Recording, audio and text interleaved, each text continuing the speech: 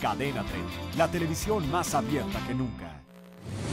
Los familiares de Antonio Zambrano Montes, el mexicano abatido el 10 de febrero pasado a manos de policías de Pasco, Washington, le dieron el último adiós. Este sábado se realizó el funeral de Antonio en la comunidad de La Parotita, en Michoacán.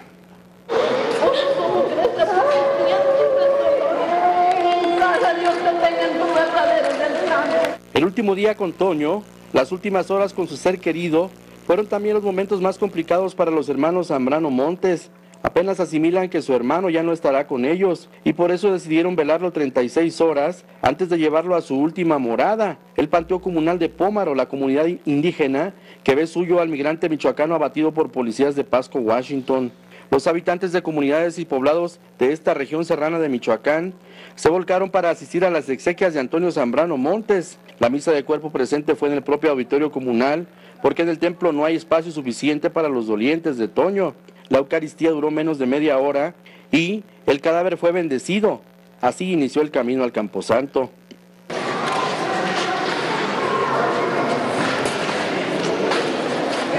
Se formó el cortejo fúnebre que salió minutos antes de las 14 horas del sábado 7 de marzo pasado del auditorio con destino al Panteón. A la manifestación de luto se sumó un conjunto musical. Los músicos tocaron Caminos de Michoacán, la canción que más le gustaba al tercero de los hijos de Jesús Zambrano y Agapita Montes.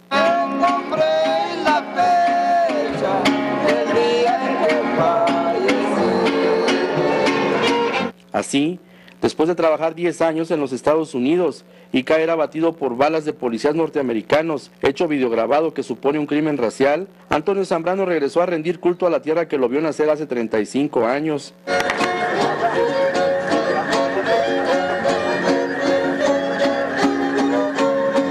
Antonio Zambrano Montes fue sepultado con la música que más escuchaba. Las melodías avivaron emociones. La última muestra de cariño para Toño y el último adiós fueron con flores y un puño de tierra.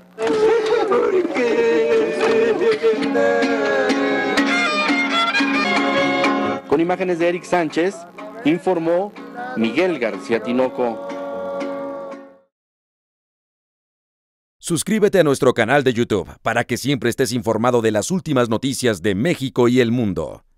Empieza ahora mismo dándole clic a estos videos.